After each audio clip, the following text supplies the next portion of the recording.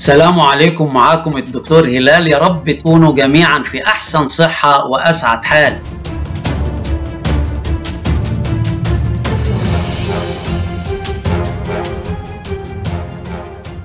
السلام عليكم معكم الدكتور هلال. يا رب تكونوا جميعا في أحسن صحة وأسعد حال للمرة الثانية.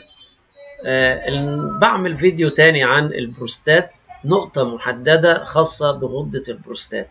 لما بيحصل لها مرض أو بتتضخم إيه اللي بيحصل في الواحد؟ وكل اللي بيحصل للإنسان أو للراجل لما البروستات دي بتتمرض ده بسبب إن هي في موقع خطير جدا جدا جدا وموقع مزنوق جدا جدا. يمكن في الرسومات بتبقى إيه آه مش باينة الزنقة بتاعتها قوي يعني الرسومات توضيحية فما بتبقاش باينة قد إيه هي مزنوقة لكن هي فعلا في الواقع مزنوقة جدا ما بين المثانة وما بين المستقيم. المثانة من فوقها والمستقيم من خلفها وعظام الحوض وعضلات الحوض والحويصلة المنوية وكل دول زانقين البروستات.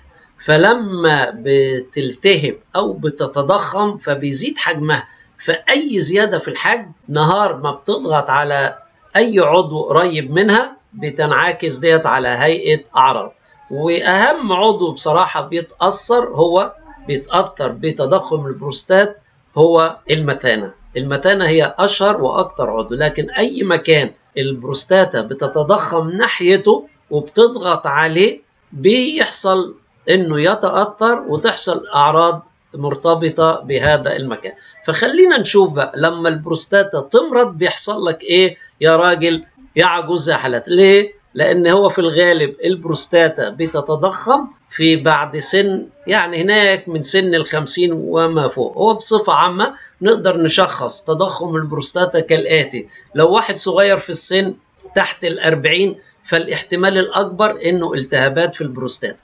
لو واحد من الأربعين إلى الستين خمسة وستين الاحتمال الأكبر اللي هو التضخم الحميد أو الورم الحميد في البروستات لو واحد بقى فوق السبعين بنحط احتمال آه سرطان البروستاتا آه يعني لا قدر الله عنا وعنكم جميعا. فخلينا نشوف التفاصيل مع الرسومات إيه اللي بيحصل لما البروستاتا تمرض وتتضخم. زي ما أنتم شايفين في الرسمة ديت المثانة وده المستقيم. أهو المستقيم ودي المثانة فإذا هي إيه؟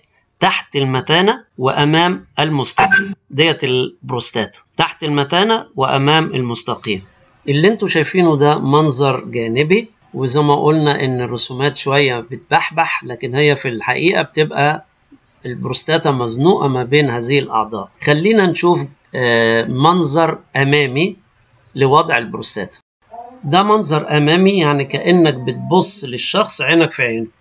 بتبين لكم هو البروستاتا في تحت ومن وسطها ماشي مجرى البول وجاي بالبول من المثانه إلى القضيب. طيب لو حصل مرض في البروستاتا وتضخمت إيه اللي بيحصل؟ هيحصل إنها أما تتضخم هتضغط على أحد الأعضاء. فممكن لو تضخمت في اتجاه الأعلى تضغط على المثانة وإذا ضغطت على المثانة ممكن يا إما تضغط على جدار المثانة نفسها فبالتالي حجم المثانة يقل جدار المثانة يفقد بعض ليونته ما يبقاش لين ما يقدرش يتمدد ويحتوي المثانة ما تحتويش عدد كمية كبيرة من البول كما هو العادة. وممكن تضغط على السفنكتر الصمام اللي بي في عنق المثانة اللي بيتحكم في نزول البول أو حبسه. ديت الآثار اللي بتنتج عن الضغط عن على المثانة. فيحصل إيه؟ يحصل إن الواحد يتكرر عنده البول لأن المثانة أصبح حجمها صغير ولا تستوعب آه كمية كبيرة من البول. جدار المثانة أصبح مش مرن فبالتالي لا يتمدد ويستوعب البول فبالتالي يحصل تكرار. والصمام يتلف فلما الصمام يتلف ما تعرفش تحبس البول يحصل إيه؟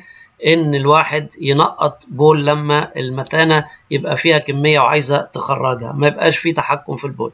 الواحد يقوم بالليل كتير يروح الحمام كتير بالليل وأثناء النهار. كل دي نتيجة الإيه؟ ضغط البروستات على المثانة طيب لو حصل الضغط في اتجاه الحالب زي ما باين كده في الصورة إيه اللي يحصل؟ هتضغط على الحالب هيضيق الحالب ويختنق وبعدين يصبح مرور البول صعب فالواحد يجد عنده صعوبة في بداية التبول صعوبة في إخراج البول. وقد تصل الحالة لما تكون زيادة بقى جدا وضغط شديد على الحالب إنها تقفل الحالب تماما ويحصل احتباس للبول. في الحالات دي طبعا ملهاش حل غير الواحد يعمل له قسطرة وبعدين يعالج البروستيت بحيث يخفف الضغط من على الحالب. طيب لو ضغطت البروستات على المستقيم. إيه اللي يحصل؟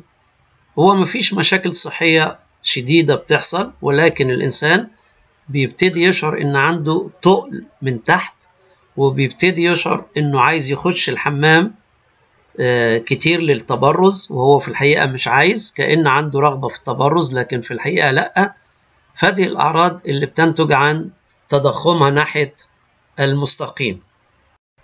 وممكن تؤدي إلى سرعة قذف هي منطقي لما بتضغط البروستاتا على الأنابيب المنوية اللي هي ejaculatory duct لما تكون كبيرة وقت الواحد ما يجي يعمل جماع فبالتالي البروستات بتبقى كبيرة عضلاتها عضلاتها أقوى وبتضغط أسرع على القناة القاذفة وبالتالي الواحد ممكن يقذف بسرعة أكتر من المعتاد ويجيله نوع من سرعة القذف ده كان ملخص للمشاكل اللي بتحصل نتيجة تضخم البروستاتا وده كله نتيجة موقعها الاستراتيجي المزنوق ما بين الأعضاء الأخرى المثانة والمستقيم والحوصلات المنوية وعظام الحوض وعضلات الحوض. وكده وصلنا لنهاية الفيديو بتاع النهاردة وإن شاء الله في تكملة لفيديوهات أخرى عن البروستات.